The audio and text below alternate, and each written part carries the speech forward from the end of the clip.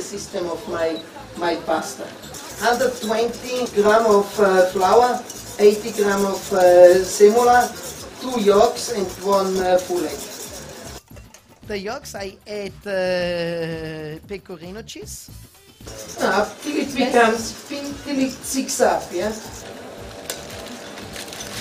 Normally you make it on a wooden tray, it's more rough, so you work better. On the yes, I close it, And you close? move there, and then I will cut it. So I will uh, add uh, the broth.